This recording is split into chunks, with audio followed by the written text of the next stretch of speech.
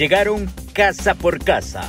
Por incentivarles a ustedes, ¿verdad? Que si en la familia hay una persona que presente los síntomas por COVID-19, que consulte a la unidad más cercana, ¿verdad? Para que pueda recibir el tratamiento. Ahora los tratamientos son en casa, ¿verdad? Trata del personal de salud que realizaron un barrido comunitario en el cantón Ato Nuevo de San Miguel y sus colonias, con el fin de verificar, con el fin de verificar las condiciones de salud de los habitantes y las viviendas pertenecientes a la Unidad Comunitaria de Salud Familiar El Zamorán.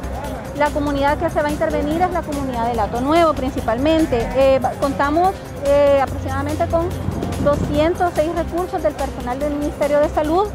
Eh, la población beneficiada con esta actividad son aproximadamente 5.305 habitantes, 1.081 viviendas, vamos a, intervenir aproximadamente 19 caseríos.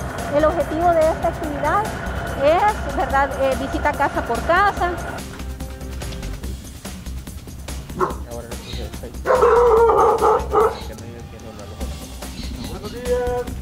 Las autoridades sanitarias explicaron que estas actividades se están haciendo frecuentemente en todo el territorio nacional, con el fin de controlar los casos de coronavirus.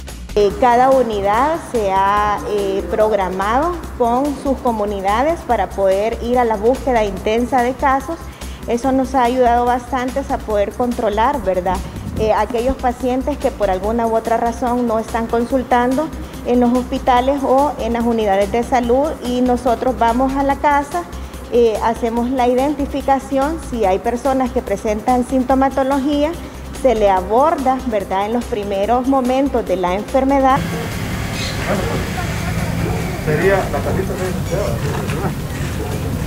El personal de salud que desde tempranas horas se desplazó a todos los lugares del cantón Ato Nuevo llevaban también medicamentos para las familias donde hay casos sospechosos de COVID-19.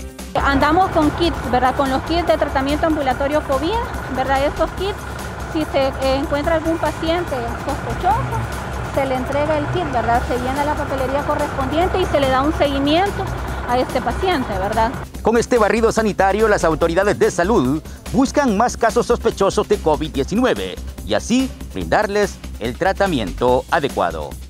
Con imágenes de José Zelaya, Fidel Hernández, Noticiero TVM.